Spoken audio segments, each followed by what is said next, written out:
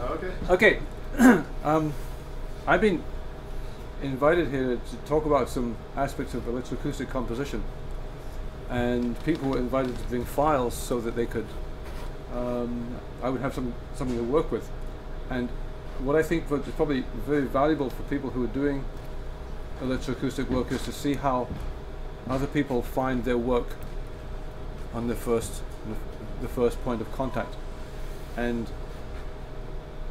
this is uh, this is without going into the detail of who and what and where and how, how and why. This is what I receive, okay, and I'm looking at this file, and this is the work I get. So I will open the file and I will look at it in this view, and the first thing I'm going to do in here is I'm going to go, oh, it doesn't quite come, it does, I don't quite get the window. There's a, there's a window up here under analysis. I'm going to look at the waveform statistics on this, on this file. And we'll see that the peak amplitude is normal, is uh, minus 0.5 dB on both channels. There's silence on both channels.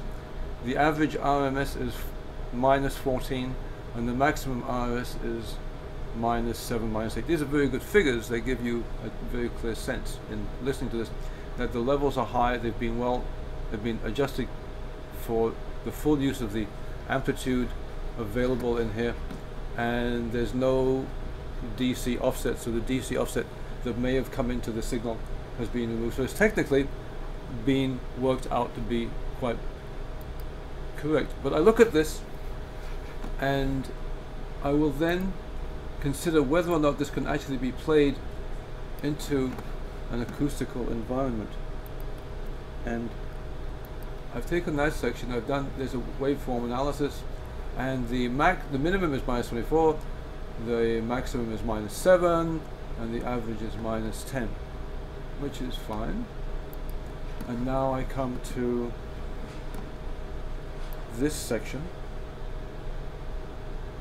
Let me just make one small modification here so I can see where we are.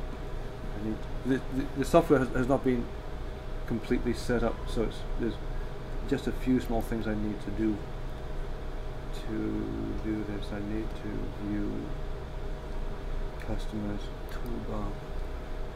In here, I, what I would like to be able to see um, the beginning and the end of the file of, of the section in here. And what else do I want to see? For the moment that that's that's fine. So we can see that this goes from 38 to 106 so that's um, 40 22 40 40 no 20, is it 106 yeah. it's about 30 seconds. So let's have a look at what the amplitude level is during that 30 seconds. And the waveform statistics. And we see that the average level is minus 50. That's the average RMS level of that section. If we're going to have a peak amplitude in the space of 85 dB, if we're going to limit this amplitude in the space to 85 dB, the average level of this section is going to be 35 dBA which is basically in most situations well below the ambient noise level in, in, in wherever you are. In other words, that's silent. In this, where we are right now, there's a fan, which is an unusual situation, but this fan is somewhere around 55 or 60 dB. Therefore, if we have peaks from these speakers of 85 dB, we have a 25 dB or, dB or 30 dB dynamic range in here. So what happens with a piece that's done in this way is it becomes not transportable. It can't be played in a wide variety of environments. It couldn't be played in a car. It couldn't be, be played in the kitchen because in the kitchen the ambient noise level could be between 45 and 50, 50 55 dB. And if you're not going to go above 85 dB, then you're dealing with a dynamic range in the situation of having 30 or 35 dB. And so in one sense, what I started to look at in this is how transportable the file is going to be in this way. If you have this on your iPod and you're out on the street, you can't listen to this because the dynamic range is so wide that it's restricted as to, as to exactly where you're going to be able to listen to this. In this kind of situation, as a composer, you may decide to do two mixes. And one mix is going to be for the concert situation, and the other one is going to be for general distribution. Because if you send this to a radio station, they can't play it. Because FM radio has a, has a dynamic range of maximally about 28 dB. So if you send it to, or if you play it over the web, and someone wants to play it from the web, you're dealing with someone sitting with their speakers on their next to their computer, and they have the noise of the fans from the computer going on. They have other sound, sounds going on. But The radio don't don't compress or don't change the signal automatically No, no. putting it onto air. on No, it. I'm talking about transportability. Yeah, we were talking about radio. The. Radio Canada, Radio Canada would, would they, they, when they detect that signal, they would think that they've lost the signal and they would cut in with pre-recorded music. We are we sorry we, we sorry we've lost the, this transmission because they won't do that. The, FM, other FM stations will do that, but Radio Canada and other stations, when they detect almost no signal at the transmitter, will assume there's been a lost connection to the studio and will put in their filler on the air. If this were played on uh, KPFA in San Francisco, which is a community radio station, when that gets through the system, what happens is you have other kinds of problems. Because what you want to do here is if you want, we're saying, well, can't you put an expand on this? Well, let's have let's have a look and see what happens in in the expansion mode. So what I will do is I'm going to try and raise this whole thing by let me just amplify it for a moment. Um, I'm going to come into here. I'll, I'll amplify by 6 dB.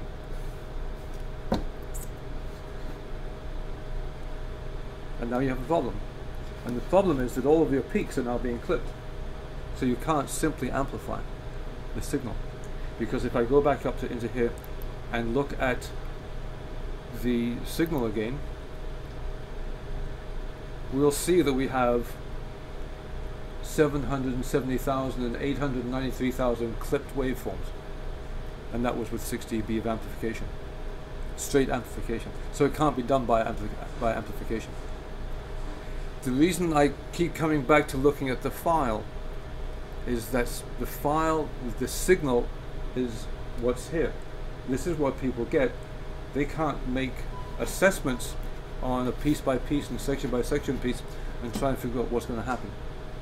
And so this is a there's a problem here that because of these sections of very low level, while overall the levels are very high, these sections make the piece virtually non-transportable. You go to a situation, a concert somewhere, and if it's at a place that has a concert hall, they try and keep the ambient noise at 18 dB, which is extremely, extremely low. Even 30 dB is, quite low.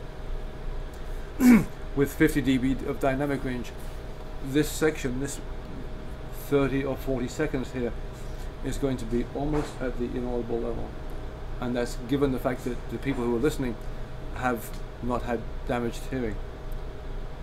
Because if the hearing has been damaged and they have threshold of 40 dB, that'll be silent. And this is a, a situation that composers have to deal with in trying to figure out exactly what it is to put in a signal which is 50 dB below the peak levels of this. So I'm going to I mean, it's done for concerts.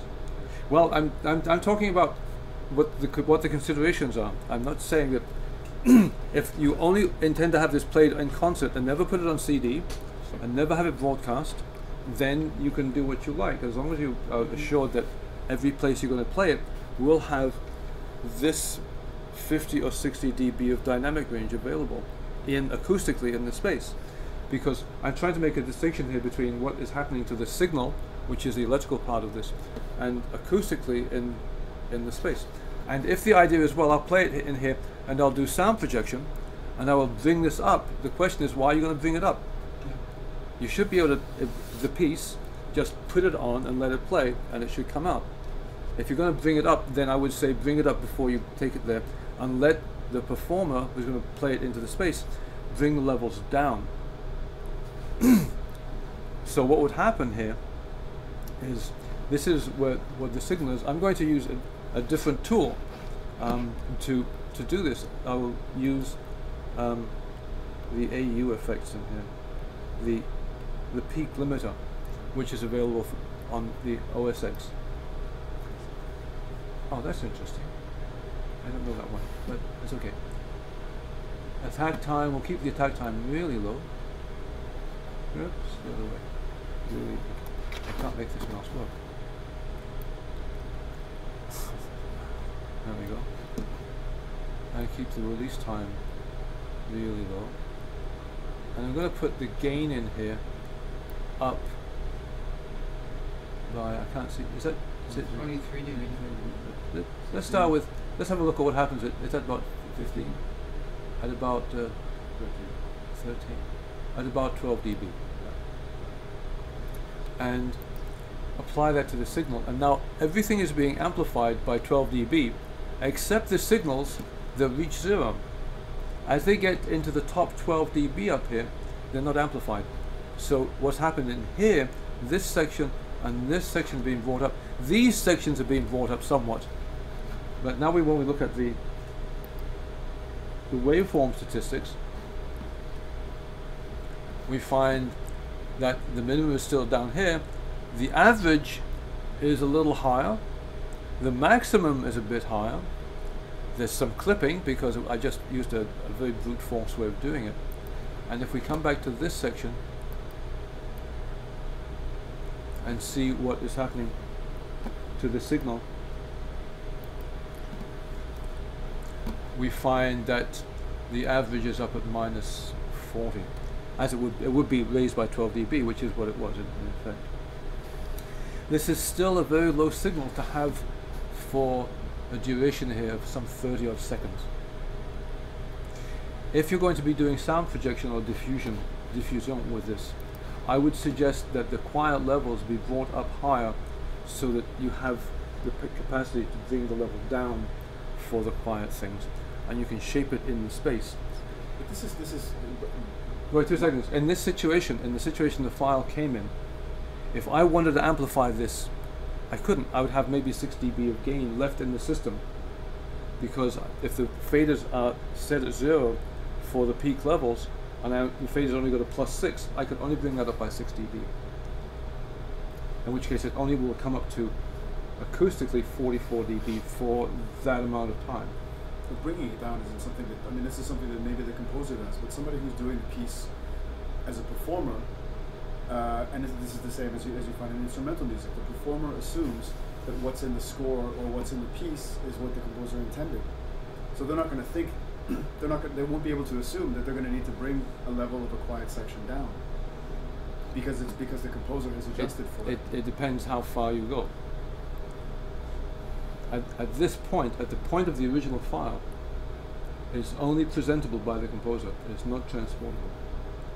It can't Yeah. be. It can't be broadcast. It can't be played in other kinds of environments. And if that's what you want, then that's what you have. But you still have the situation that because this is so low, if you want to add 12 dB of this in performance, you can't, because at zero, the acoustical level is already minus 50. It's already down at, at 35 dB, and the mixer only has another 6 dB of gain. And that's why the consideration in doing the composition is about this. Let's, let's have a look at this section and see. This is uh, how long? 39 seconds. 39 seconds. I'm, I'm going to leave out the peak to avoid having it, it shifted from this. And here we have the average RMS at minus 30, which is 20 dB below the peak levels of the, of the peak. So this will, this entire section acoustically will be in the 65 to 70 dB range, acoustically in the hall. And if the hall is a little bit noisy, that's that's quite listenable. It's just, and we, I've already put 12 dB of boost on here.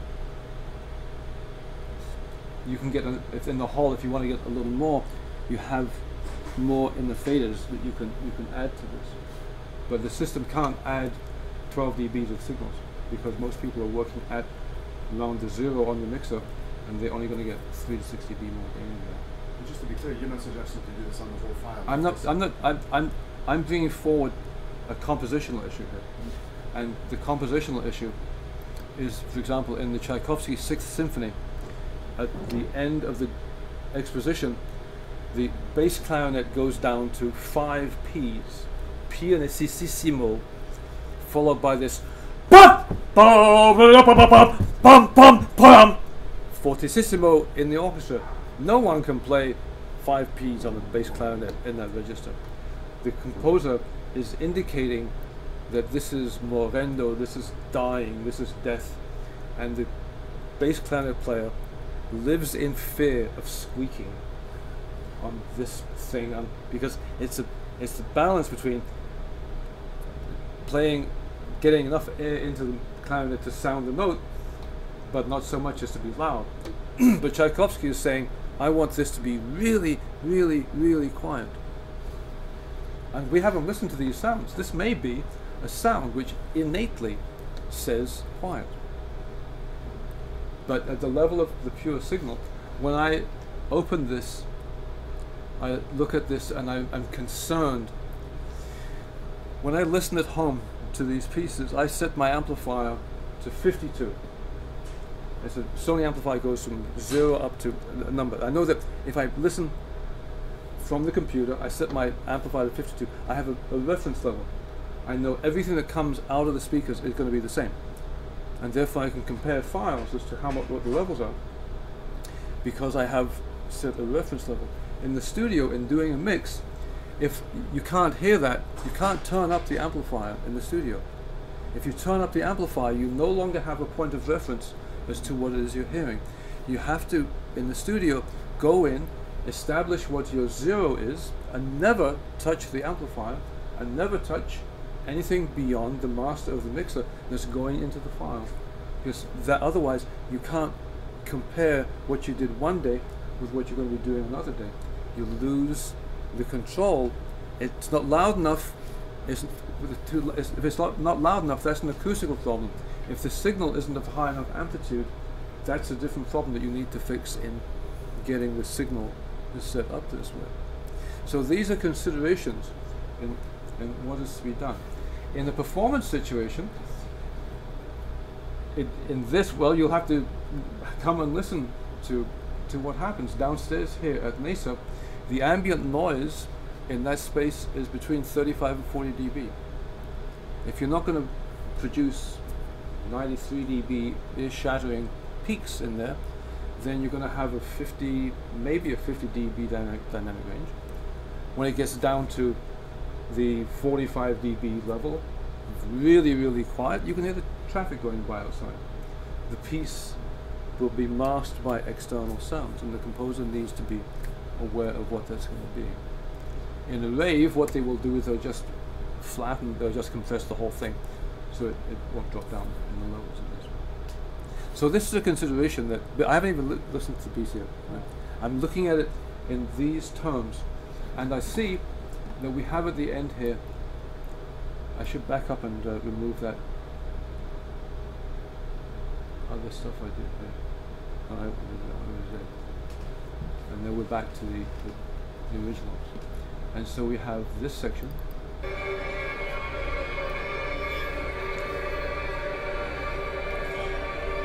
Now, we don't know how loud that should be.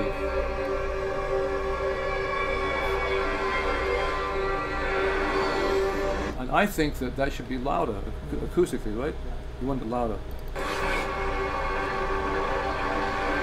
But I don't have a mixer here, so there's not much I can do about that. Hmm. Okay, you can it up. Okay, And then you can control your volume. Yeah, over here. Yeah, I, I, yeah, but that wasn't that. That's that wasn't the point of what I was saying. But that's okay. Yeah.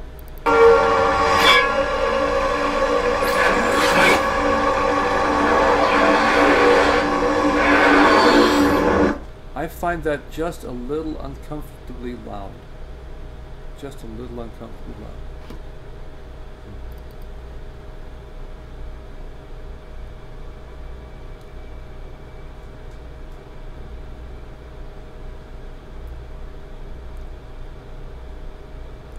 That I have.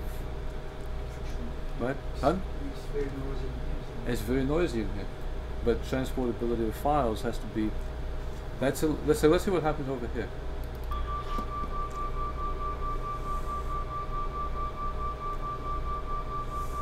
Well, having heard this piece, Wait, wait, wait, wait, wait. I'm, I'm not taking.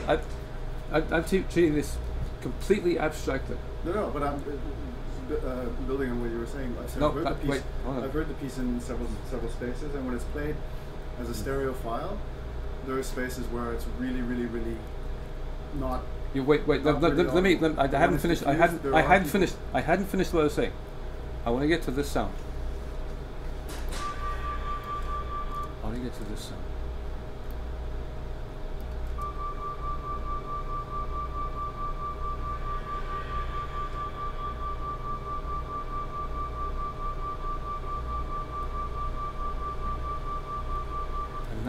Do is I'm going to normalize this sound.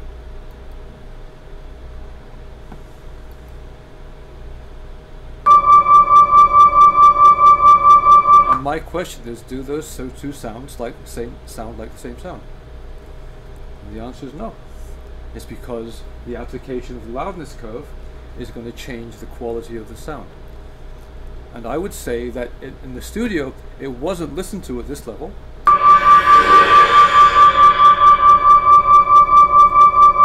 It wasn't listened to at that level, but it wasn't listened to at the previous level either. It wasn't listened to at this level.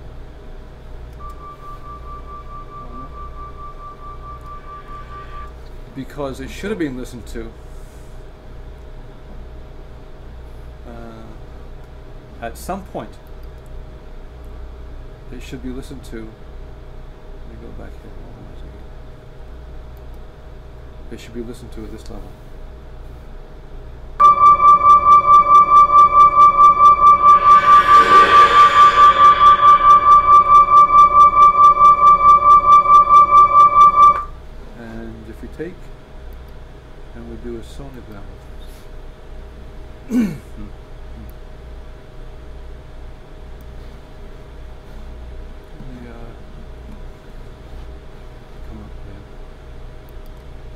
Take a little bit of the top off to get a little more precision on this.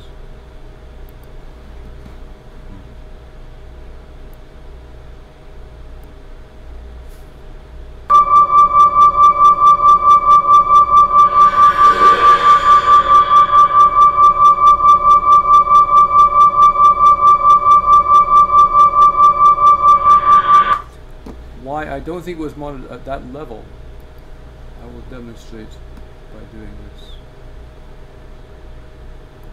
I'm going turn it down just a little bit for the ears.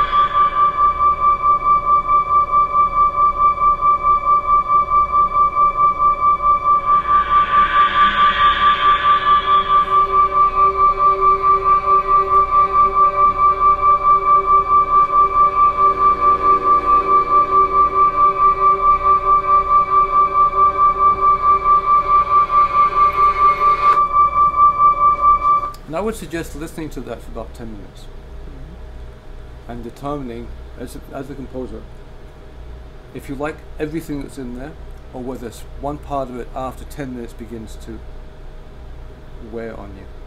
And if you find there's something in there that you like, then you know that's what you want to keep. And if you find there's something that you just don't want to hear anymore, then you know that's the part of the sound you want to remove. And if it's monitored at this level, you hear it one way. When it's monitored, however, at this level,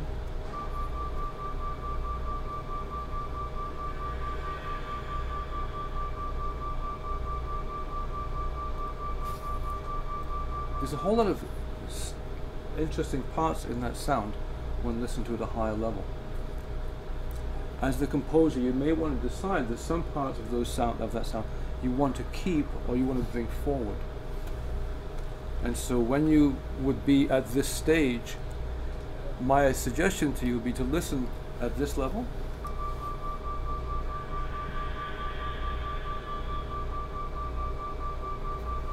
And also to listen at the higher level.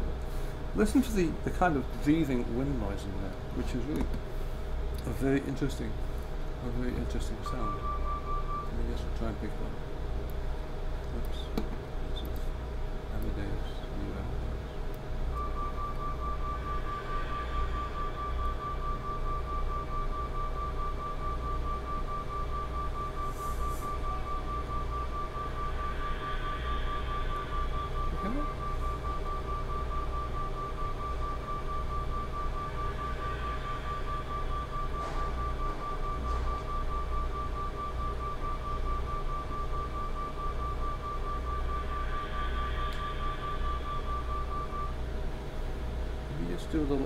clarification on that.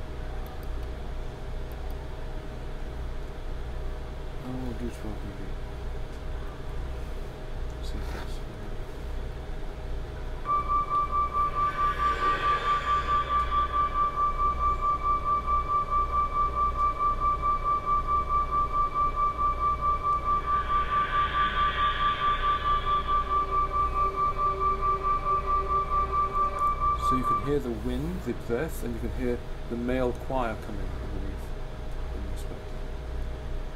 And now the question is, for you as the composer, is that the balance you want between the three parts? Of the repeating ding ding ding ding ding ding ding ding ding ding ding ding and the and the male chorus. Because if you monitor at a different level, the relationship is going to change. And when you compose, compose a piece like that and this part particularly very low, and you like that ambience because it's so, so undefined, maybe it's what the composers like. I mean, it's, it's I- different to, I- to I- listen to it very high. See, I'm, I'm, I'm being really metric about this. I haven't talked about the com- composer's intentions. Yeah. I've asked you to listen to what happens when you have this listened to at different levels in the studio. Mm. It's not about the composer's intention. The composer will decide what they want to have. And once you, as the composer, decide what you want to have, then you have to create whatever the balance is that you're going to need to have that to do that.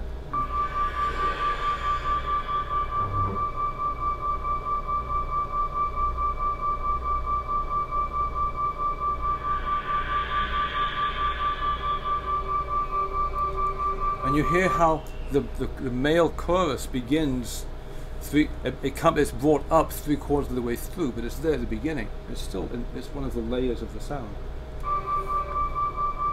Yeah.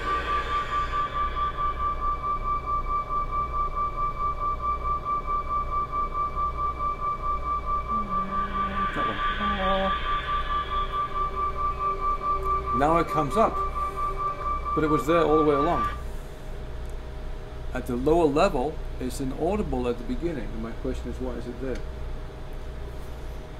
Because if you again amplify this, this is this applies across everything, everything you do in the studio. This, these kinds of questions are, are, are essential and critical to this. So let me amplify this again. I'll bring up another 12 dB.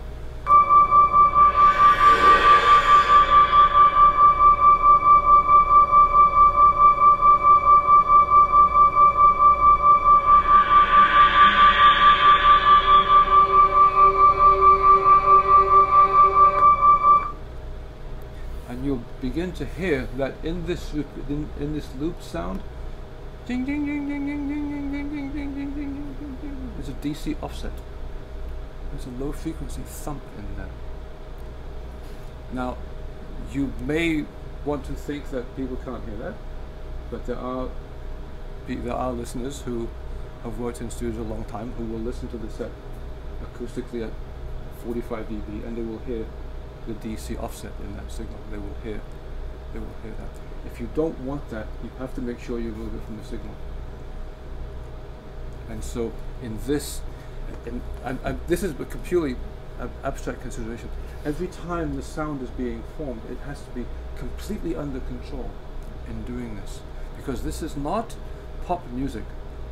This is compressed ideas. The ideas are being compressed and reduced down to their essence. You have eight or nine minutes to make your point. The choice is between going out and using my QuickPix 4.2 megapixel camera to do this, or to take Eve's um, 16.7 gigapixel camera that can shoot as a lens this big, so it can shoot under two two candle power, and it'll take a, a picture of mine in two candle power. It's just noise, and so you will always start everything from the highest possible quality, the highest possible level you have in getting the materials so that every part of every sound is perfect.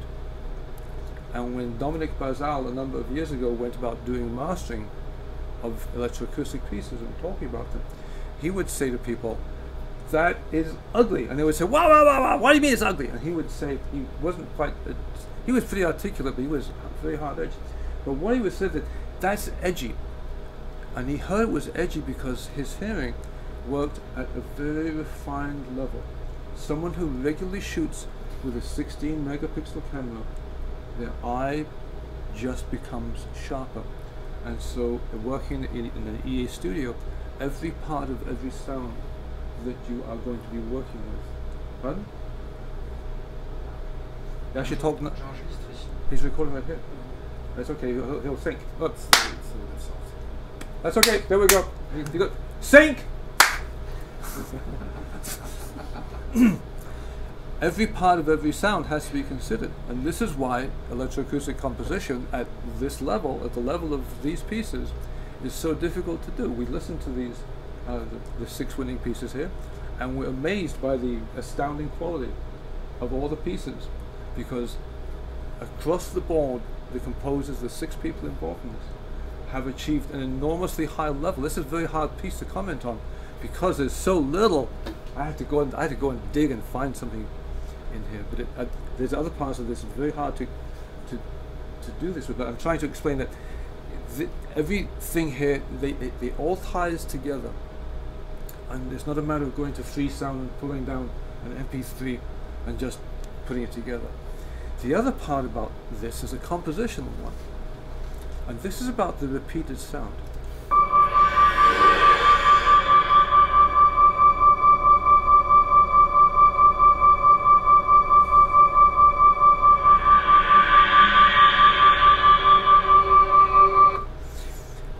The exact repetition is a, is a problem that electroacoustic composers have to deal with on a continuous basis. You're going to have exact repetition, or you're not going to have exact repetition. Let me just uh, and see if I'm going. To, I'm going to try this. I don't know if it'll work. Okay, let's have a look and see if, in fact, this is an exact repetition. If you compare them one to the other, they tend they don't look quite like exact repetition. But that could be because there's reverb on this that is distorting the multiple repetitions. But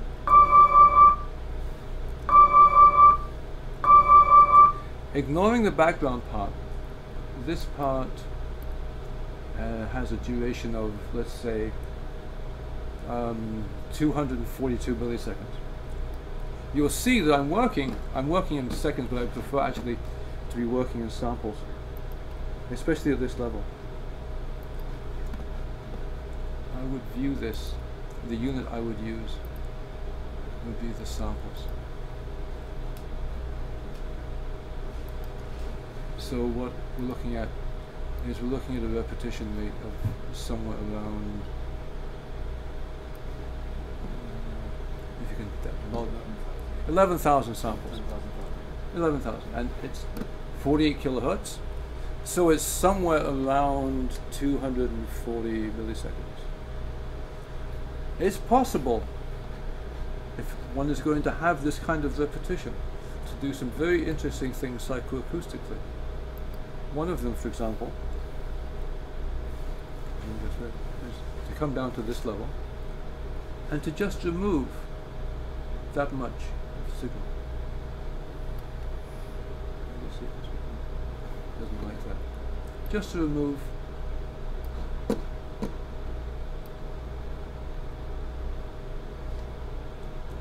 seven milliseconds or sound at this level. Just shorten one by seven milliseconds, make another one 15 milliseconds longer, shorten another one by 12, make another one 21 milliseconds longer, shorten another one by minuscule amounts. But in listening to players, performers, human musicians, when they play repeated notes, they may appear to be playing precisely, precisely, precisely, but they don't. They, there's, there's flux, there's fluctuation in here. And the brain responds positively to this. If you want this to be mechanical, simply absolutely mechanical, then that's the thing, the thing to look for. But if it's be mechanical, I would say that the attack of going wah wah wah wah wah wah, the wah is not sharp enough to get the mechanical aspect of that. It's still got this this pulsating nature to it. So as a composer, you would decide whether the envelope corresponds to your intention. If you want a clearly mechanical repetition, then you've got to change the attack time. You're going to shorten the attack time to give it this quality of being there. And if you don't want that, then you leave a longer envelope and it'll be. this to me sounds a bit like the fire alarm at, uh, uh, on, on Friday at the uh, OCAD, where there was a fire alarm during the middle of the presentation. And it was a little distant, and the initial response of everyone in the room was, oh, that's interesting. Because the attack of the beeping sound was being muted and was being modified by the acoustic of the space. Had it been in the room we were sitting in, it would have caused an immediate response in people. So setting the envelope as to whether you want to, do you want this to be mechanical sound? If you want it to be a mechanical sound, a, an, an annoying mechanical sound? Not annoying, just a mechanical sound, just a, So what he's done, he has a mechanical sound, which is this exact repetition. And to avoid the annoyance, he's kept the envelopes of them a little longer. And so he accomplishes what he's setting out to do, which is to create this sense of mechanical. But there's other stuff which are is to be considered here as well in doing this. And getting mechanical sounds to sound mechanical without sounding mechanical is, as you know from trying to do this, a real challenge that you are, you're dealing with.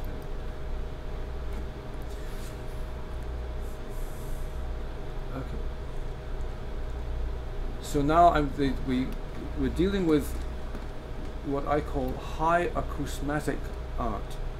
This is uh, the the grandchild of the original musique concrète.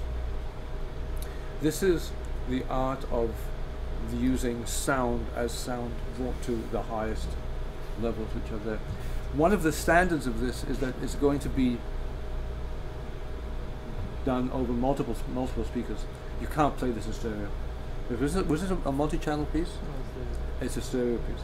So it was going to be done as a as a stereo piece with sound projection.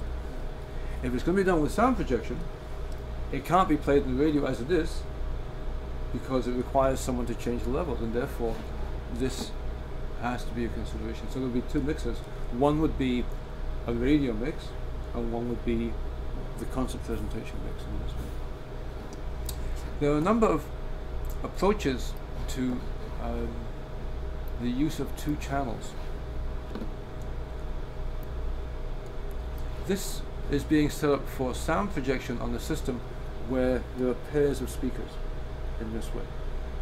The two major divisions between in sound projection is whether or not there's a center speaker. If there's a center speaker, there's a, there's a whole other paradigm going on. But the idea here is that somehow or other, this is a stereo related piece. There's that if we take this place right here and we look at the signal, these these signals are phase correlated. You see this peak here, up here, and down here. This is part of the same signal in this way. And you can see there's this and this little thing. And the you can see that largely a, it's largely a stereo signal. Stereo has some complexities because it only works really when you're sitting equally between the two speakers. So the composer has to work out a way of making sure that the person sitting on this side actually hears something from the other side. Let's have a listen to this section.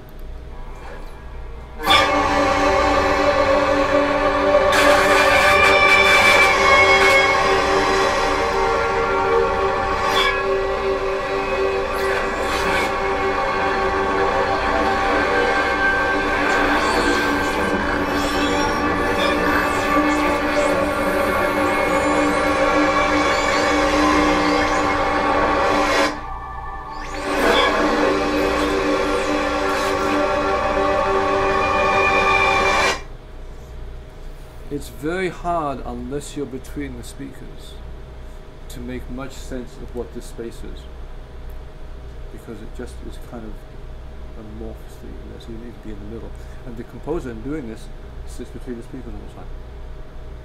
So when you're doing this in the studio, one of the things you need to do is you work there, but you also get up and you walk away and you go sit on one side. And you see whether or not the material you have is transportable to other people in the same space. My preferred space place to sit in a concert with sound projection is right behind the person doing the sound projection. Because the person doing the sound projection is going to try and balance the sound ideally for that one position. And every location further away from that position, the signal is being degraded in certain kinds of ways because as you get closer to one side, you will lose the other side and so on and so forth. So these are considerations in how to begin to work if one is going to work in stereo. The studio you worked in was dry, right? Was, was a dry a dry studio, acoustically very dry. You can tell it's acoustically dry because in order to compensate for the dryness of the studio, you added reverb. And the reverb you added doesn't work in other spaces because the other spaces are going to add reverb on top of that. Mm. And this is a a common issue.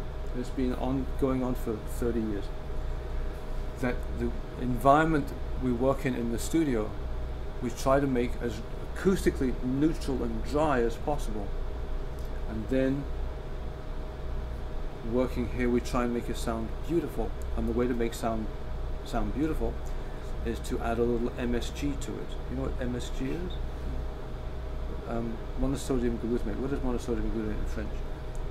So, Monosodium glutamate. monosodium glutamate is a salt. It's what's called a psychoactive. Monosodium glutamate, when you when the tongue there's no, there's no taste to this salt. When the tongue gets it, the brain goes, "I love that, I love that," and the brain goes, "I love it." You take a dog turd and you put monosodium and you eat it, and the brain goes, "I love it, I want more." That's why There might be some limits. That's that's why that's why everyone loves sushi because monosodium glutamate occurs naturally in seaweed. And therefore you can take the food you can wrap it in seaweed and the brain goes i love it. High frequency phase garbage the brain loves. It, it reflects a, a complex acoustical environment. And reverb does that. It just adds that to to this. And Is so it- you is it something that, that do you think that it's something that's really physical, or is it something that's, that's a question of habit? We've become so accustomed to, to being in open spaces and.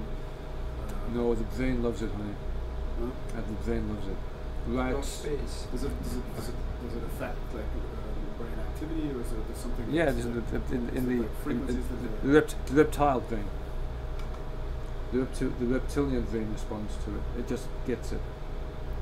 Because complex reverberated spaces allow the head, without having to see anything, to determine what the space looks like, what the, what the nature of the shape is of the space. And therefore, it's hardwired into the brain to compare the two signals and see that, oh, yeah, there's an echo there, and 35 milliseconds later, there's an echo there. Therefore, that's a distance of 100 meters. It's a question of comfort. Pardon? It's a question of comfort. A comfort? It's more comfortable to be in a large space than in your closet. Well, it, it gives a lot of information. if, if, if, if probably. seven, 70 70,000 years ago, when you were in the cave and it was nighttime, You want to know how big the cave was, and the brain adapted to being able to detect these minute differences in time arrival, to be able to, nego- to be able to negotiate and navigate the environment it was in when it was dark, because the eyes were no good. At the night, at night, the only thing you had to work on was your ears, and therefore the ears have to develop enormously, intrinsically, densely receptive and ana- analytic senses, analytic, to be able to work this out, because half the life, the person's life, was spent the, at night in dark, and the, a, the brain can't use the eyes for that; it has to rely upon the ears, so the sense of hearing. Your ears are on the side of your head for a reason. Consider that your eyes aren't on the side of your head. Pigeons have eyes on the side of the head, and in order for a pigeon to see 3D, it moves its head like this all the time because it gets two different images. And the only way it can combine the two different images is to keep inputting new images all the time. If people had their ears where horses had them on the front of the head like this, the only way we'd hear what's going around us would be to have ears that moved, which is why dogs and horses have ears that move in this way. We have ears in the side of our head because what we're dealing with here is a very complex system of psychoacoustics that is going to be able to decode the information. And reverberation is one of those things that the brain loves for a while until one hears reverb. And the way to add reverb to a piece is to add it until you can hear it. And when you, the moment you can hear it, you have too much. And what happens in the studio is after you've worked in the studio for a number of years, we work with plugins a lot, you hear reverb when it's 5% of the signal because your ear gets sharpened to. In the same way that once you've worked with a lot of echo, slap echo, you'll hear it inside sounds as well. You decode that information. And so, as a composer, it's uh, you negotiate for, your, for yourself the amount you want to be appealing in a general sense to an audience, because the audience will love the reverb, and the amount you want to do the piece for your own benefit. So the way. ideal would be to have a different layers of sound. When you come into a concert hall, you apply the reverb at that time only, Well, yes.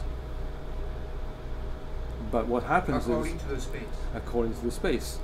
And so in which case what you have to do is you have to make the sound transportable. This is an idea, it's the concept of the you're continuously compromising on what you set out to do, the studio you work in, and where you're eventually going to have it played, and who's eventually going to do it. And the, all the compromises go on, they go on all the time, and unless you're a real bonehead, which I can talk, speak for that, I can say it's about myself, the work I have done, I the, last work I've done, I've, u- I've used no reverb. It's all point source. It's all just cut and paste, and it's nothing, no, almost no effects. Knowing that when it gets into space which is out of doors or reverberant, it works a certain way. But I also don't want my work played in a reverberant space because I'm having 15 or 18 events in a second, and reverberation, the, the natural reverb of the hall, makes it garbage and so it has to be in, in, in a dry space. But I'm prepared to live with that. That it doesn't get, it's not transportable. Therefore, the work I do in point source has to be listened to with headphones, where there's no reverb. If you want this listened to with headphones, you may want to do two mixes. One that's designed. I actually went to do a piece one time.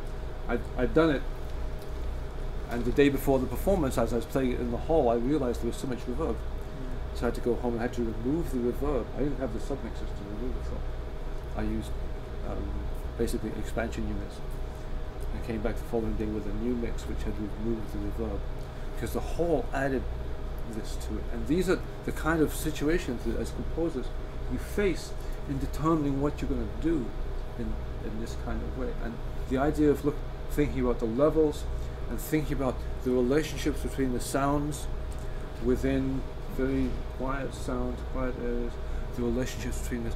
All of these are impact you, you in the studio on a continuous basis, and the, the skill you will develop in the studio is to be able to extract this information in this kind of way. This is, as, as you saw, um, I. Let me just have a. We'll have a quick look at this piece in another domain. Um, compositionally, in terms of composition. Um, is this a sectional piece? And you can look at it and you can go, yeah, that's pretty sectional. Right? There's something here and then there's something else. There's something here and there's something else. Then this section is three somethings which seem to be related. And then there's this section, and then there's these three. And looking at this, this is how I do this. That, this is how I listened to this piece for the first time, by the way, before I even played the file. Yeah. Just so you know Mhm. what. Right? And so I said, okay, so this is a narrative structure. This is a piece that has a beginning. It does something. It goes somewhere, does something, and then comes to an end. And somehow the end here, you see this? That duration is about the same as this duration. And in fact, this duration is about the same as this duration, and that is a little longer than this one, and this one and this one about the same length, and this is about half the length of this one. So I see, oh, there's a, if I call this 1, this is 1, this is the duration of 2, this is duration of 2, this is the duration of 3, duration of 3, duration of 2, 3. 1, 2, 3, 3, 3, 2, 3. So the sections are going to get progressively longer. And looking at this, I see the beginning here.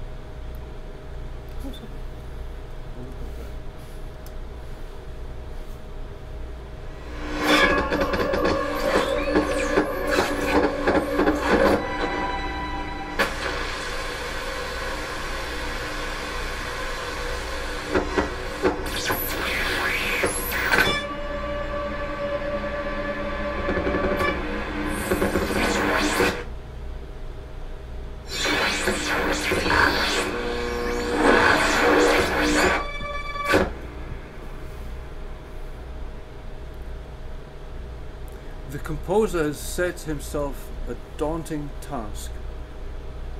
He set himself a daunting task because he's set up a set of criteria that he has to work by. He's Yeah. set up activity and stasis.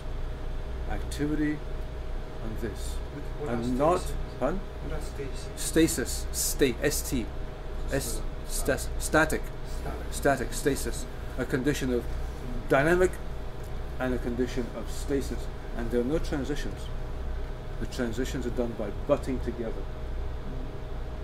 So he's faced with a particular composition problem of how to build a piece which is going the material of which is action and then and having seen the title I thought, oh, I know that. That's cockroaches. Cockroaches scurry about, then they freeze. and then they scurry about, then they freeze again. and they scurry about and they freeze again.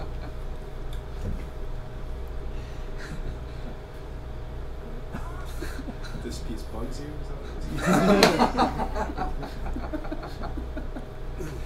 So I listen to the piece and I adjust my breathing to this.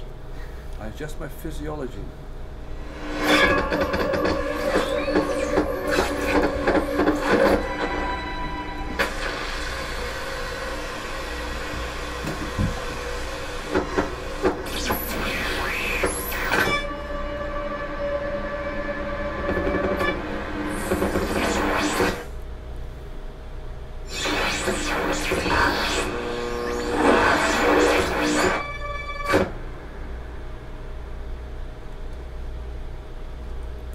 Composer has a problem. The composer has defined a set of parameters of what's going to happen in the piece, and then he has to fight them. Yeah. Yeah. That's what that was more an exposition to the piece. That's the exposition. Yeah. This is the introduction. This is like, here's the challenge. it? Overture. Yeah, you take the, you take the glove and you just put the glove down. So in listening to this piece from this point on, I've stored in my head that the composer has created a set of rules. And therefore, because having looked at the other shape, you want to take your coats off and uh, please. yeah. And uh, we'll, we'll, if you if we can move you a bit so we can get you not right in front of the speakers, that will help.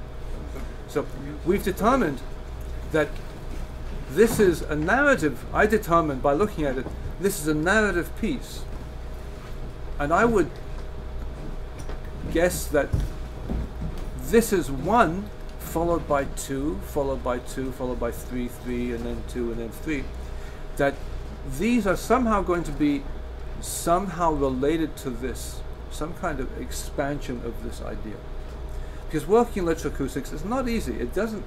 It, you're going to write a sonata form. You can write a sonata form. You get an idea one. You get an idea two. You mix them together in the development section, and you just have your student recopy them into the recapitulation and make the corrections.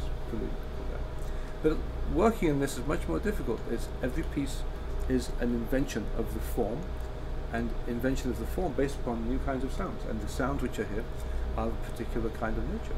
And let's have a quick look at that.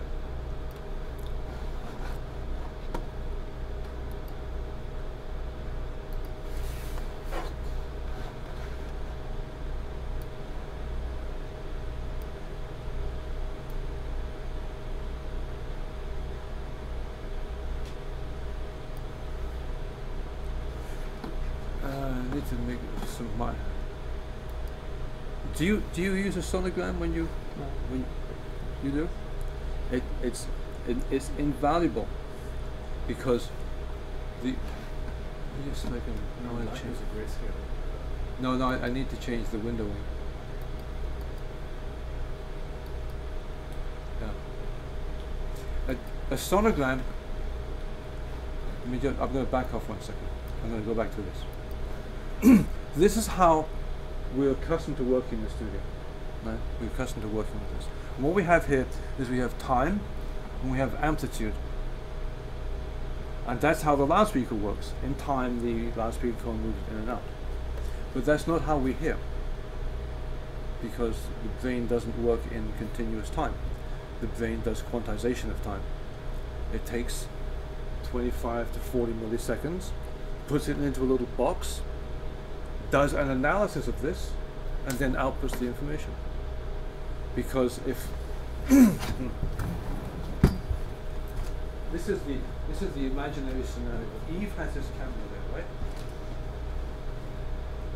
And Eve's camera is going to take a picture of this. I'm going to the out, right?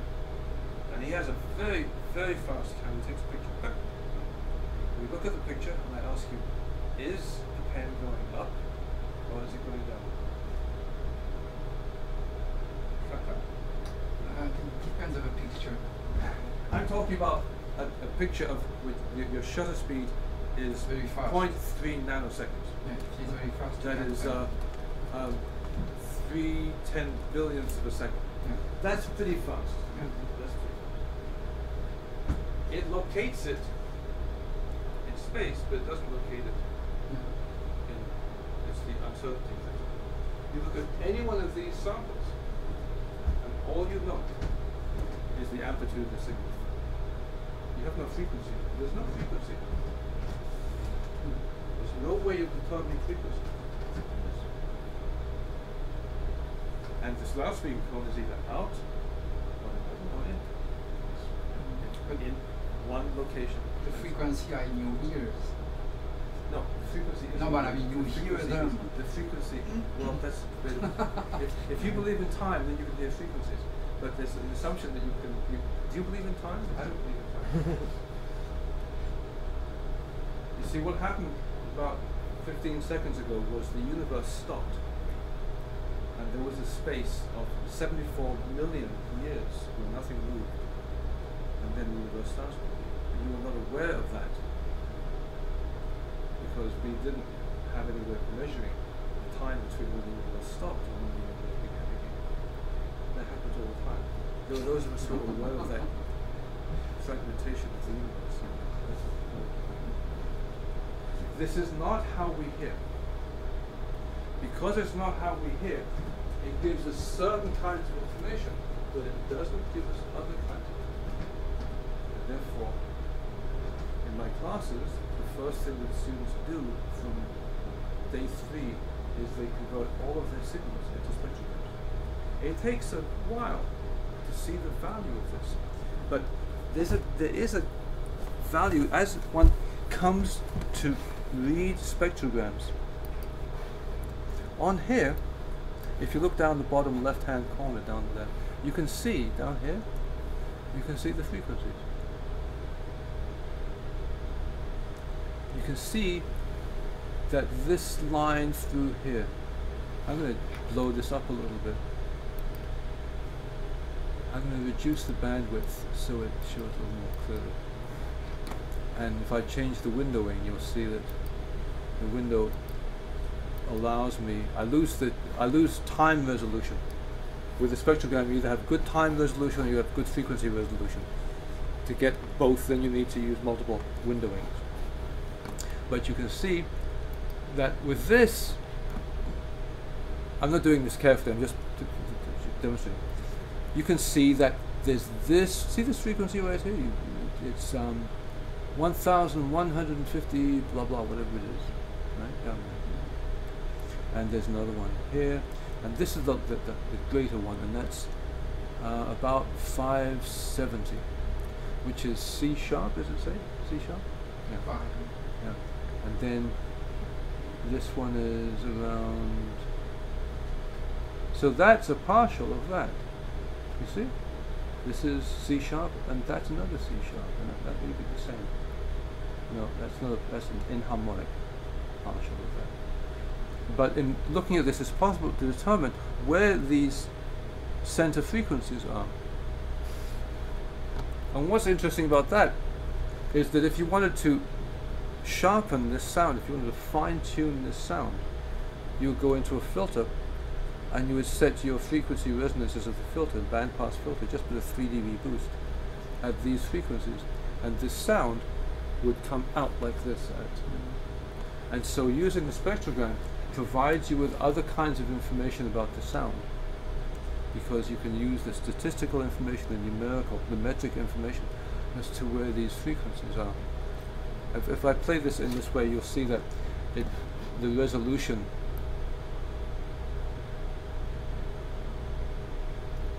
the time resolution is all blurred, but the frequency resolution is good. in this way.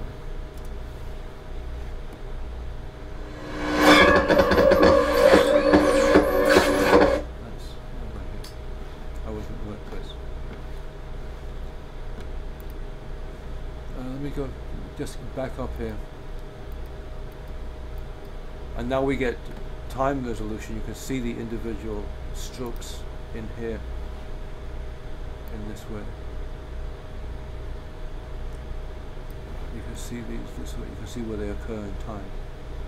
But you're not getting good frequency resolution. The frequency bands are blurred in that way. And it's a useful tool to look at this way. just to get another bandwidth up here. And you'll find a way of changing this to, to suit using uh, the square windowing is uh, not actually very good. Blackman, yeah, Blackman's a little better on this situation. And you'll be able to see more about the signal you have in there. And you'll be able to see other kinds of. So let me go back out away. And you see these frequency bands here? Down here? And the question I have is, well, are these related to something that happened before? And I can see that, you see this in here? There's this one here. So that signal is somehow, these two signals are related to each other. And these two aren't. There's a cut, probably a crossfade. It looks like a crossfade because there may be a, a, a, a direct cut. And the spectrogram will begin to give information depending on how you set the amplitudes and, and stuff,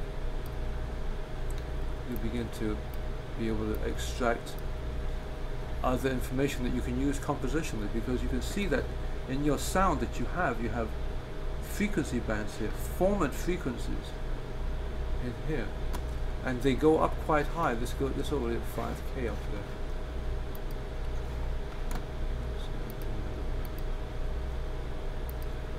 And you can begin to see the this other underlying characteristic, this continuous sound, which is underlying, but it, it, it transitions from here to here. It's not the same across this transition. And in here, I can't see these spectral bands. So in listening to this section, which is near the end of the piece, I would, or near the end of the section, I would listen differently. So one way to do this is to take this. Let me see if I can play this.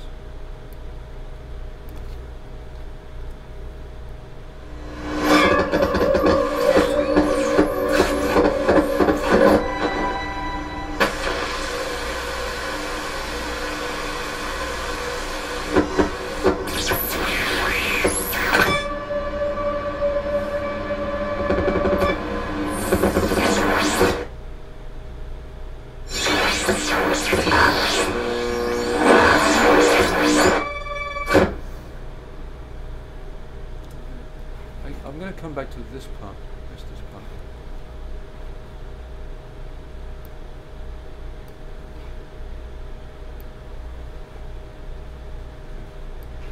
ask you to listen.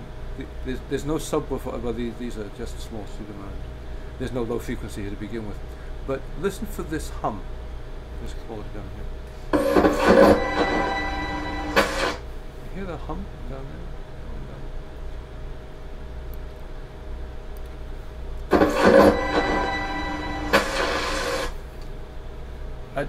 If I were doing this, I would remove that. It, Why? it, it interferes with this part of the signal by shifting my attention down to something which is later on will be useful, but for the moment, I would like the listener's attention not to be drawn away by ex- extraneous elements. You may decide that you want to have that. Different speakers would sound different because but these have a they have that resonance down there, so they don't help. Mm. But it would be an, a, an examination of this sound at the level of the detail as to whether or not this spectrum is exactly the one I want, and whether this is what I want. And you can work through there and you can decide, yes, I like that, I don't like it, and then you'll have taken the decision. It, to me, at this point, it sounds like an artifact of the recording, however. It sounds like. Mm-hmm. Recording? Pardon? Not the part of the recording. Of the recording, yeah. Rather no, than. it was recorded. That. Pardon? I recorded just that. The That- low, That was the only thing I recorded. the low frequency. Yeah. And then you added that to the other sound. Yeah. So that was a decision there, and it sounds like an artifact. So he wanted to create, for listeners who hear that, the sensation of an artifact. Because maybe the sound itself didn't sound as if it had other kind of individual artifacts in that way. This, this is where I think also analyzing the piece on another level is important because the title of the piece is Parasite. And throughout the piece, you have these, these bits of residue that are, that are compositional intention as well. So while this is this is this, this gives really really detailed inner listening to it, um, and can can help shape the compositional idea, that does have to be taken into consideration.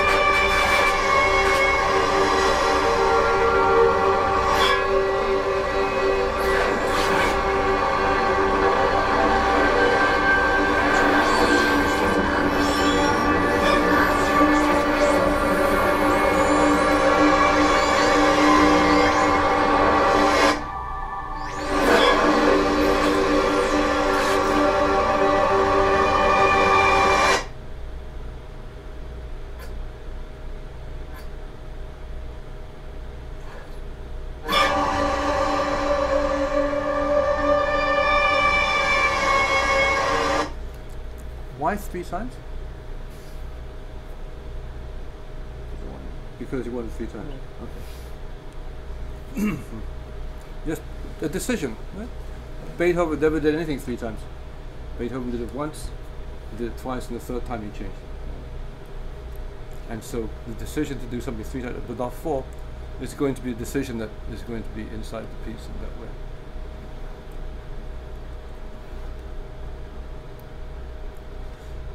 That's how I, and that's before I've actually listened to the piece. That's what I do. I work out the underlying sense of the detail, um, seeing it's a sectional piece, seeing that it's going to be narrative in nature, seeing that it's using going probably going to use these sounds as principal source materials. So in my listening, I will track how this evolves throughout the piece, and then I will have the sensation as to whether or not this is a good balance to this, or whether in fact the piece should be longer, or whether in fact the piece should be shorter. It could be, as often happens in JTTP, that people have agreed six and a half minute piece. It just happens it takes them eight minutes to do the piece. They haven't compressed, they haven't squeezed it in this way.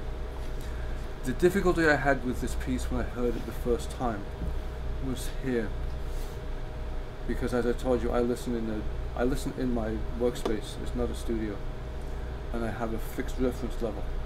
That my peaks are usually around 80, 81 dB, and therefore my average listening level is in the low 70s, highest low 70s, and this entire section disappeared.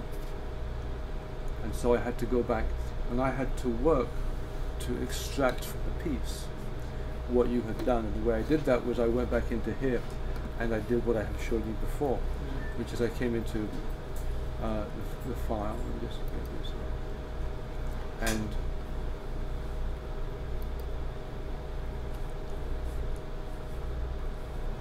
I applied about 12 dB of peak limiting to it.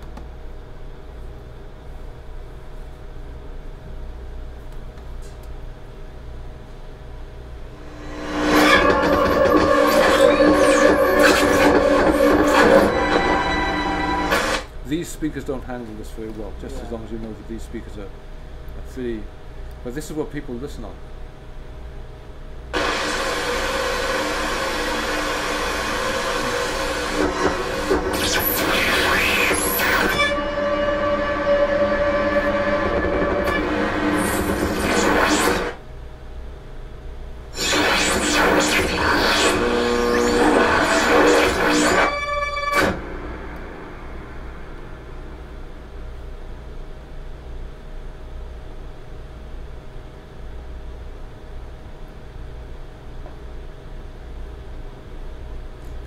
This is with 12 dB of gain on this.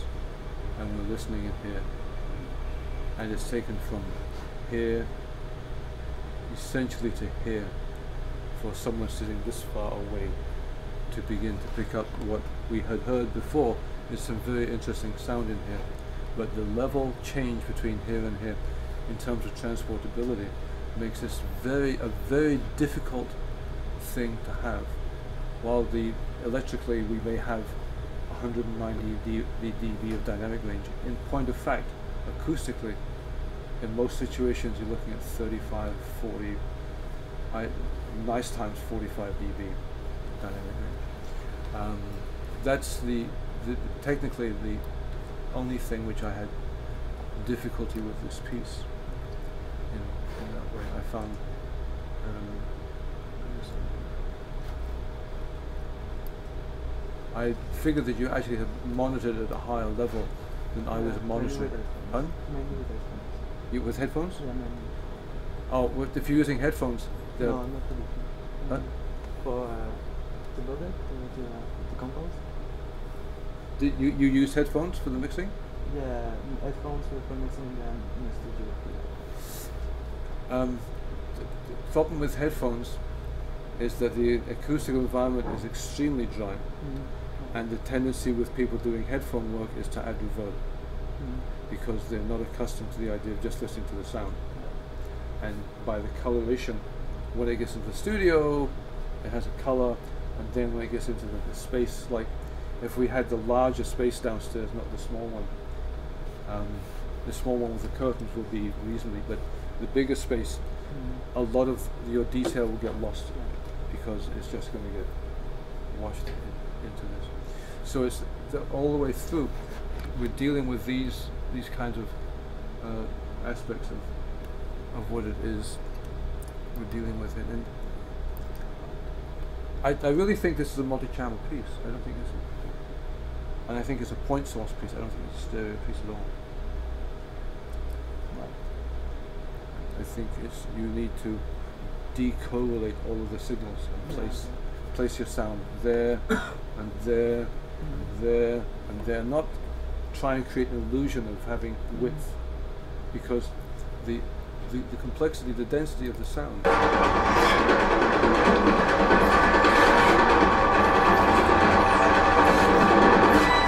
For example, that, that repeated underneath it, which we can't see.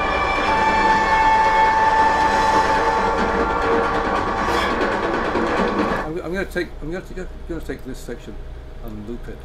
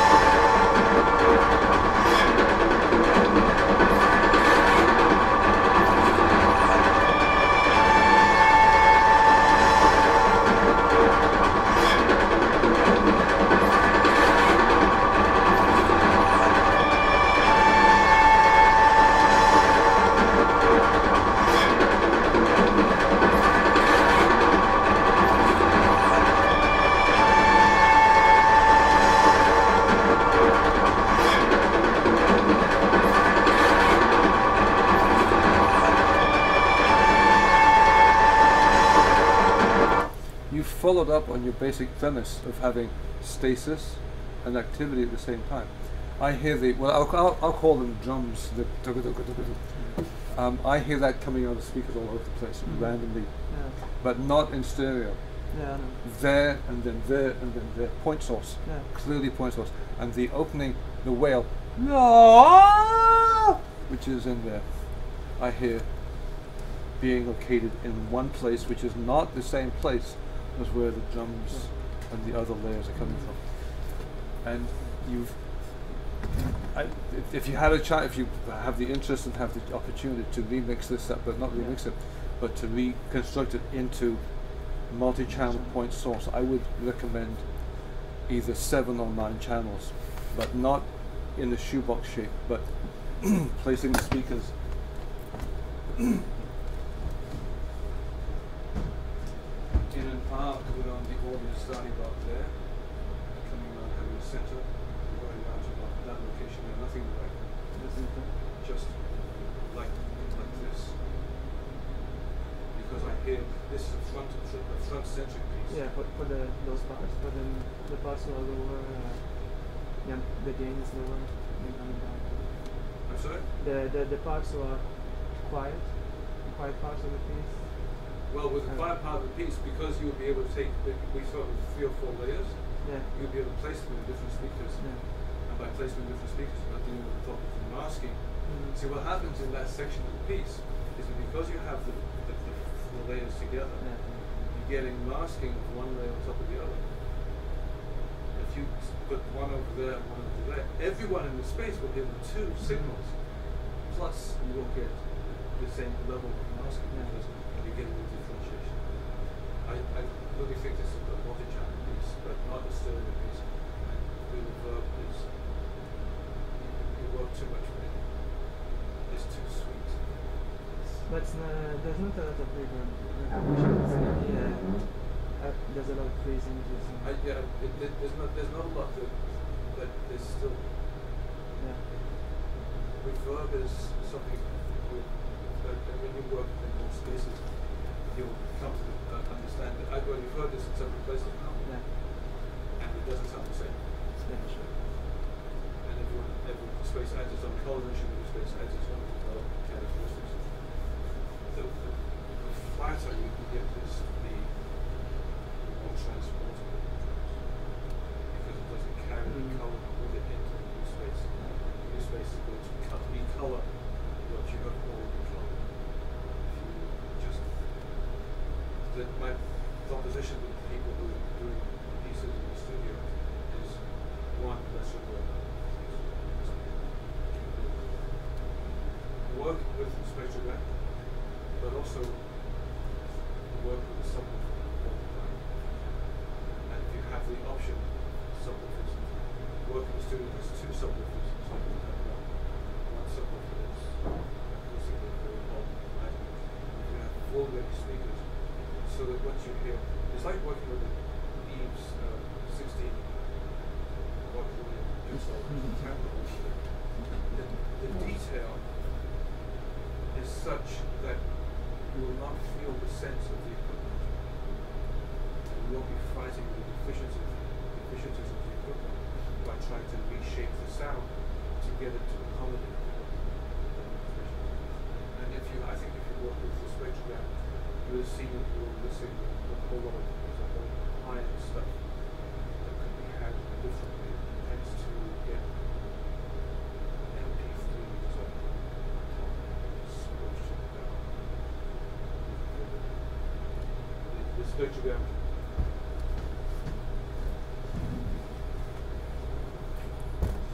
the, the materials are richer than they than they are when it, when it comes out. And that's that's my concern. That if if you had if you didn't have anything here that was really strong, it would be a different issue. But you have lots of really strong stuff here. Many many strong things in here. Let's just take the end here. Um, up up here, this is uh, 3.5k and you get to up to five or six k, and it's it's still up. There's there's still material there, but you see, it's all kind of down here. It's all thumped down here, and the, the thinking is, oh yeah, well that's what that that's what I want. But one of the things to consider is the nature of the theater of sound. if you want this kind of effect, it doesn't mean that's the sound you make. Because in theater, if you want to produce the effect of boredom from an actor,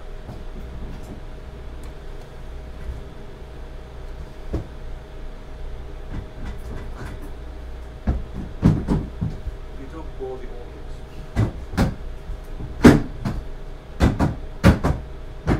You engage them.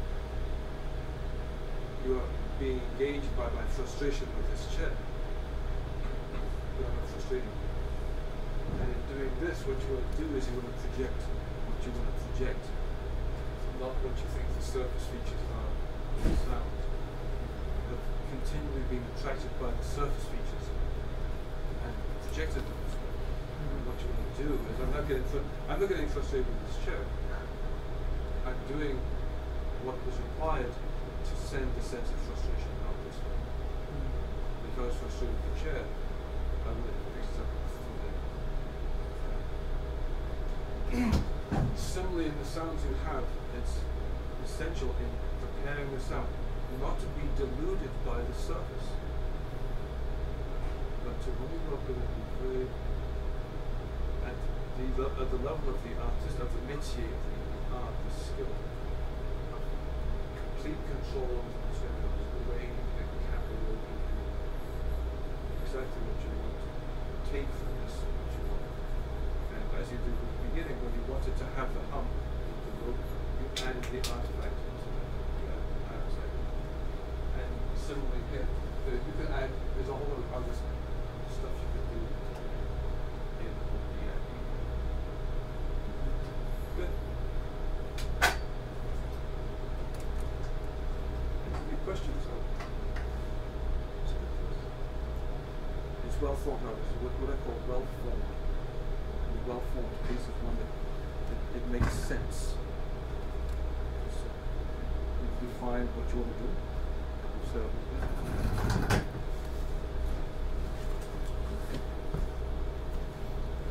good. Thank you. Should we listen to the whole thing? Mhm. Yeah. Okay, yeah, sure. Let's. Uh, now we've had a, an opportunity to. Uh, Now you, we, we will heard it tonight in better condition. well, we'll hear it tonight in better conditions. In which case, tonight that when you hear it, it'll be all that much easier to hear Yeah. well, because you will know the piece in some way. And the reason I gave the analysis first of the of the sections like this in the piece is to locate the listener in what I call rapid rapid listening or rapid hearing. The more information you can give the listener the first time they're going to hear the piece, Yeah. the more they'll get out. Because in all likelihood they will only hear it once. Mm. And some people say, I don't want to write a program note. I don't want to talk about my piece. I want you to experience it once. And I'm going, no, you misunderstand the nature of human beings. You're going to get one chance at this. If you give the listener lots of information beforehand, they come in with an educated ear, they will get that much out of it, that much more. And so I said, here, we'll listen to this, and there's the introduction, there's the choir section, which is about twice as long, and then there's this, which is three times as long, another choir section, three times as long, and then there's three, and then the twice as long as the opening, and then there's three. And so when we listen to this, we'll keep track of where we are this. I'll go back. I'm going to show the spectrogram version, but run the uh, run the audio from the other file.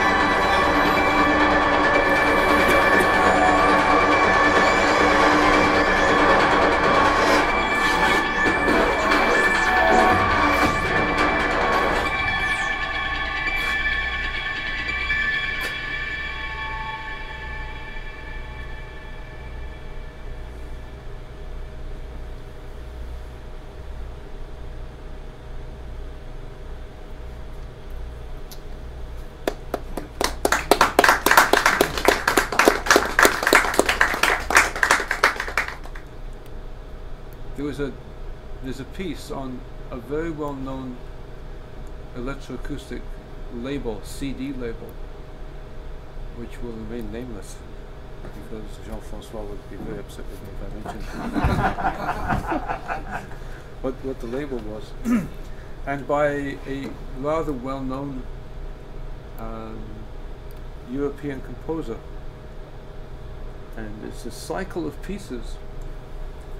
And I took the uh, the CD files, and that, but what I do is when I first of all open the file, if I get this file, the first thing I do is what I just did.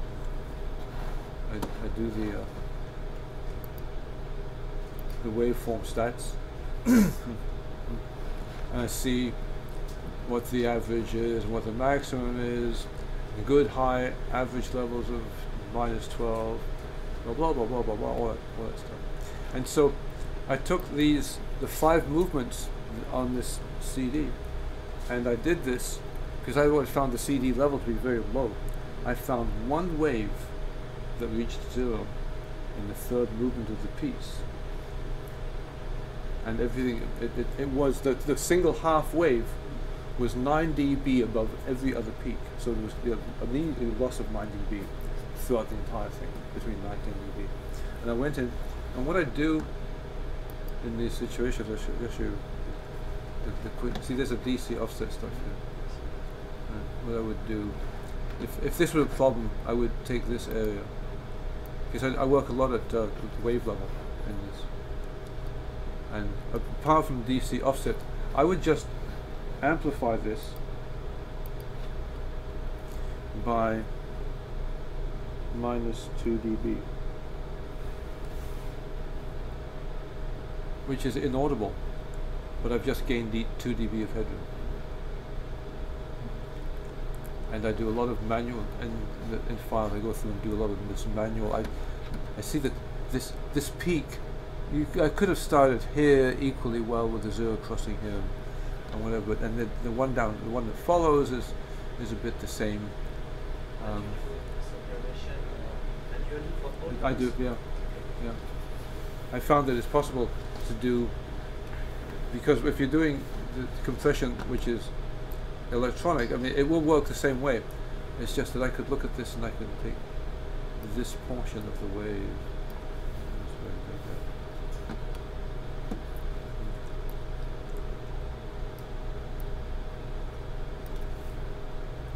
And just take the 2 dB of, I just decrease the amplitude of that single peak by 2 dB. It's gain 2 dB, if, in certain circumstances, will gain 2 dB on the channel, and completely inaudibly, because it's just taking out the individual peaks. But the idea of working at that level in, with the signal, I find to be important uh, for in dealing with, uh, in having the students understand what the signal is about, rather than thinking of the signal as being some kind of a block of sound. The signal is treated in a detailed fashion.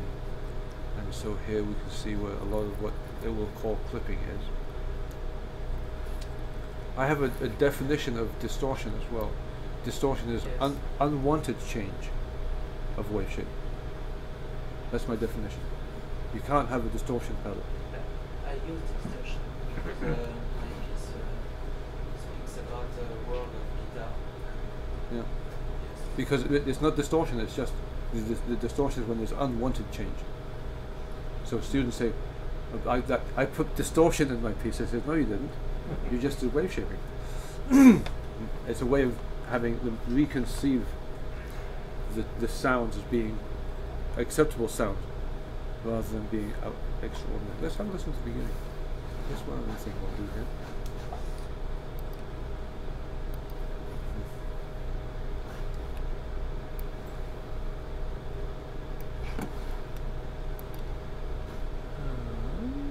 We'll go up to here.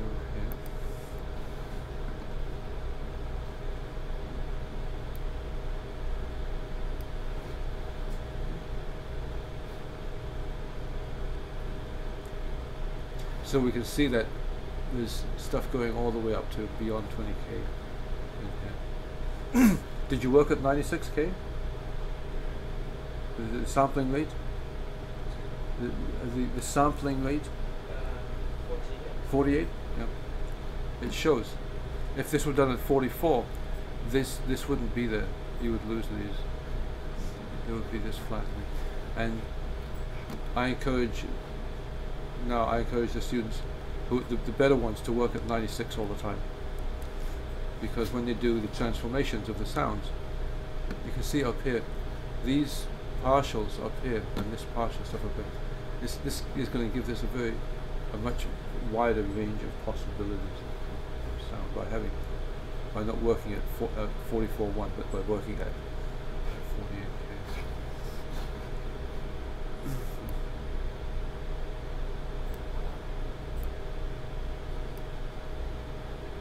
So there's the piece. Okay, good. so it, to me, it looks like a piece which is in two major sections. Um, I'm just saying what I'm, I'm, I'm not listening. I think uh, five, six. No, wait, wait. I'm just saying what Okay, I, okay, I, I, I, I, I haven't listened to it yet, right? Okay, okay, okay. I've done the uh, analysis of the wave Yes. to see the technical level. I look at this and I see that there's appear to be a, there's a major division, a point of articulation in the middle.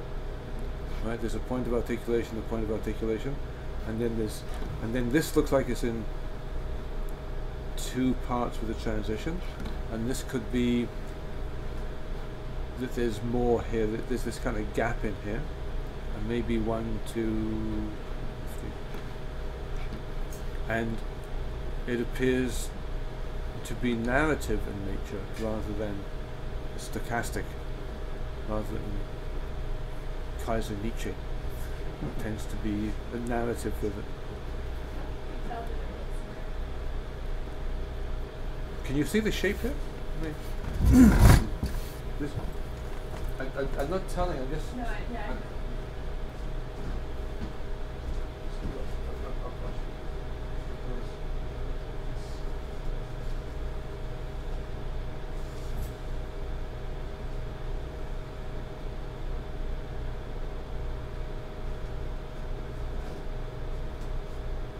See the visual shape? It's a gesture.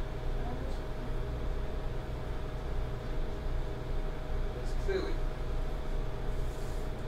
This, this is probably a half close, but I mean, this is probably a half close close. And that may be a full close. I talked about, I, I use traditional terms. So I talked about the concept of cadence. I only have two kinds of cadences in the piece.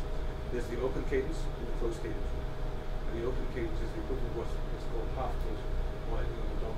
It's, there'll be a sense of continuation. And the full close is when you- there's a termination at this point. And and either go on or come on. And the decision which we take it is whether or not this is an aesthetically, as it is, is, is aesthetically a half close. That you, there's a statement here which is going to be balanced by some other kind of statement.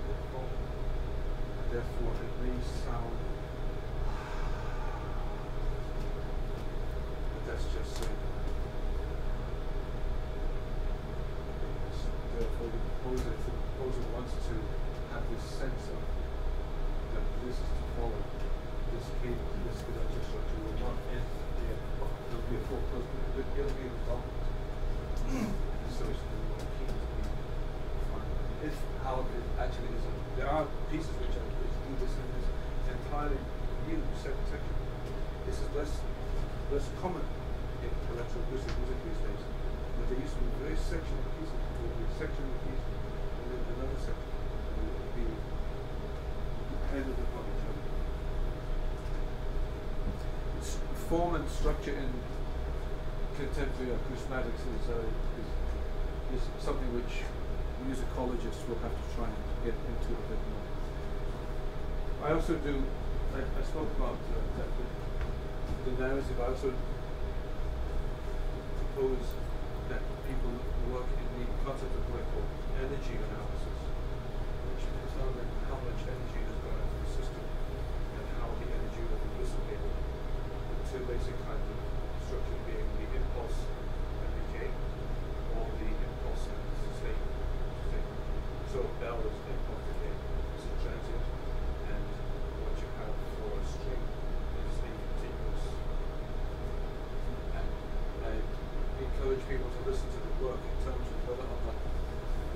compressor has struck the bell, struck the bell, and then allows the energy to decay, or whether the energy is being put in and then being allowed to decay, or if the energy is going and being sustained. And doing sustained energy is very difficult because the, uh, the technology.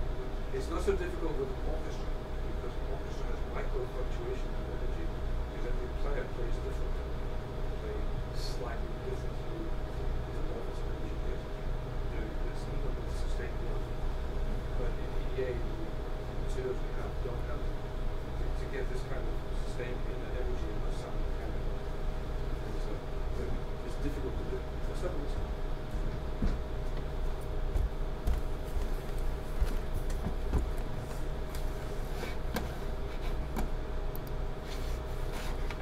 The hot level's a bit high, so I'll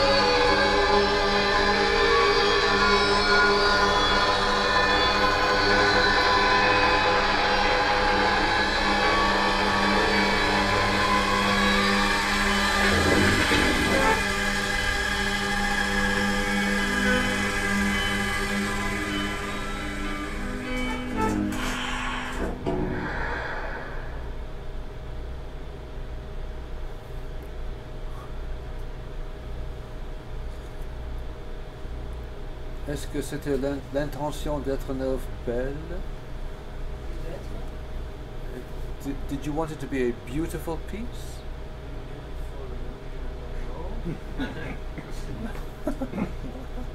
Why you say that? It's just a question. Yes. Mm, Did uh, you? Uh, okay. Yes. Guitar have different states. Um, some parts of the piece are very noisy. The end are most melodic. Yes. And uh, yes, uh, je voulais uh, finish with a well, with a with a chord. Okay. G minor, G Dorian. Yes, uh, because there is a lot of energy and uh, yes, that and with uh, yes, in this couple finish this is beautiful. It, meant to be beautiful. It was meant to be energetic with a, a lot of flow of energy. Continues. It, is it a collage? Oh yes, um, most What were the sources for the collage? Okay. Um, the principal element of the piece uh, is a pixel, 40 second, and uh, I sliced uh, it in uh, 12 parts. Okay. Uh, I work on the, this 12 parts of pixel, and each part give me a different different material. Some uh, are very uh, rhythmic, uh, something else was uh, was static, and uh, it's uh, well, I used uh, different elements, punctuations, uh, that yes, my uh, principal actor, something like Right. uh, most of uh, treatment effects What? on this. But not so much uh, uh, pas beaucoup de prise de son. Not so much element uh, at start. Because guitar is a word we, we use uh, most of the effects in the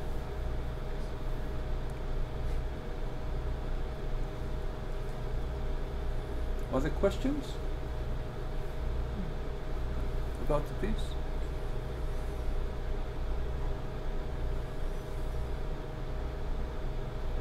Does anyone think the piece should be longer or shorter?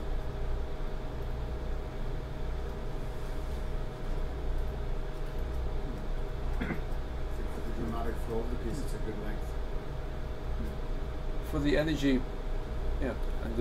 builds, especially in the last section, the way it builds, yeah, and it, it corresponds to really. If you know rock music, then then it's, it really does have this sort of dramatic flow of, of uh, a, a big fat rock piece. The big sort of introspective guitar sort of soul at the end.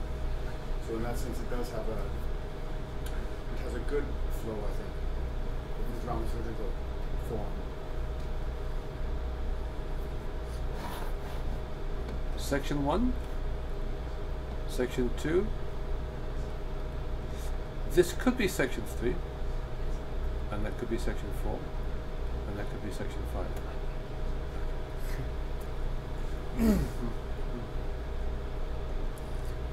but the sections are only vaguely clear. The uh, you, you don't stop and then go have 20 seconds of silence. And, and, uh, so that they- they're formed. How long did you work on this piece? Or you have hours and months, a year, Yes. a year. Yeah. It shows because of the level of detail and the nature of the the internal relationships are always very organic. They're not predictable, but they all fit in way things, the different energy levels work at the same time. It's good. I have. That's what I am. Do you have any questions? Yes.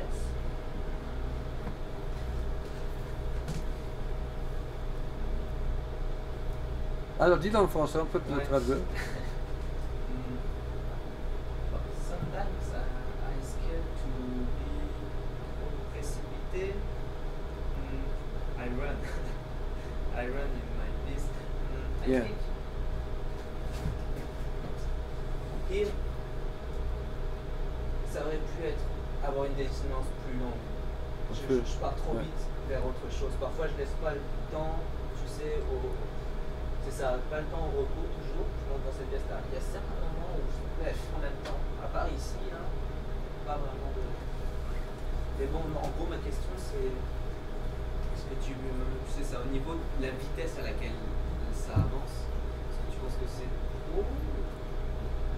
Je pense pas, mais trop c'est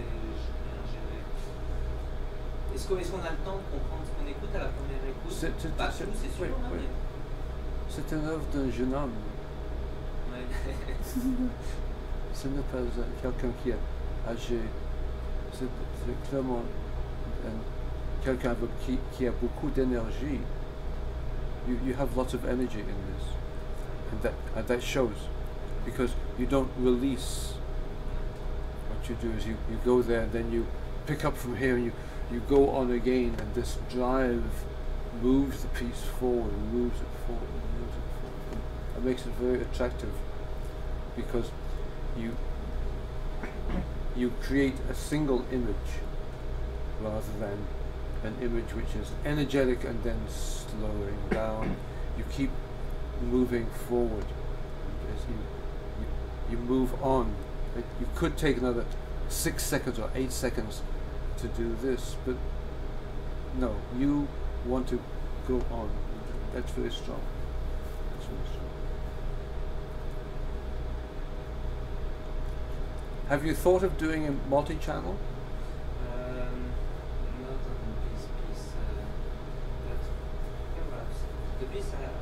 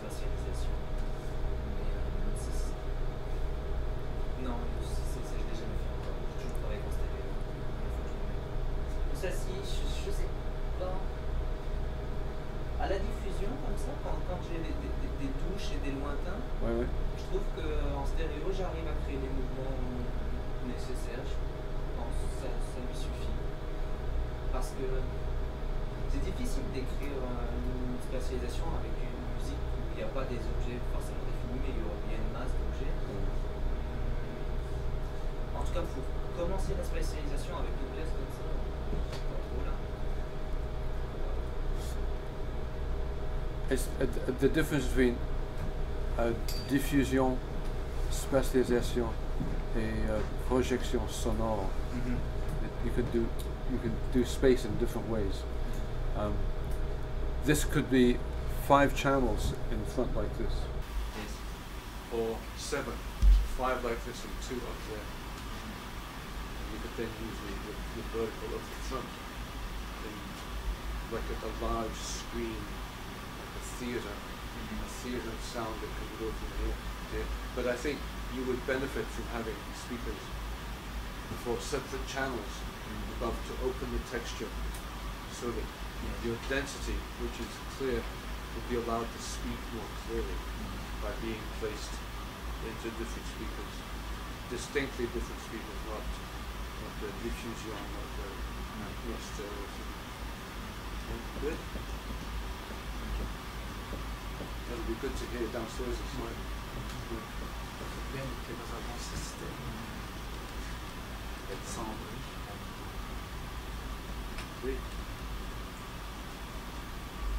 I think uh, this has been very good. I've learned a lot today. I know I know it's been successful when I've learned a lot. The more I learn, the more successful it is. And I've learned an enormous amount today. So thank you very much. Thank you.